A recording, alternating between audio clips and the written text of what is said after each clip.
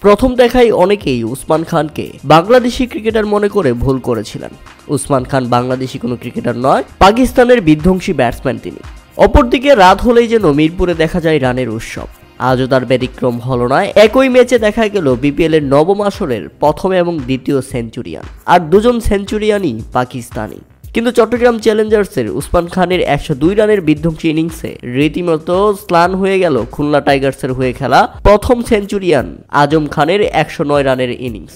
এ ম্যাচে উসমান খানের দুর্দান্ত সেঞ্চুরিতে নয় উইকেটের ব্যবধানে জিতল শুভাগত হোমের দল। প্রথমে আজম খানের বিধ্বংসী সেঞ্চুরিতে একশো আটাত্তর রানের বিশাল লক্ষ্য তার করায় খুলনা টাইগার্স। আর ব্যাটিং করতে নেমেই শুরু থেকেই দুই ওপেনার উসমান খান এবং ম্যাক্সো দাউদ দুজনে মিলে দারুণ ইনিংস শুরু করেন। একশো রানের পার্টনারশিপের সঙ্গে দুজনেই তুলে নেন ফিফটি।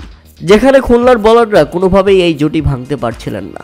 তবে ম্যাক্সো দাউদ পঞ্চাশ বলে আটান্ন রানে ফিরে গেলেও উসমান দুর্দান্ত সেঞ্চুরি তুলে নিয়েছেন, যিনি কিনা এবারের বিপিএলে দ্বিতীয় সেঞ্চুরিয়ান। আর তার সেঞ্চুরি ফলেই খুলনার বিপক্ষে দুর্দান্ত নয় উইকেটের ব্যবধানে জয় তুলে নেয় চট্টগ্রাম চ্যালেঞ্জার্স।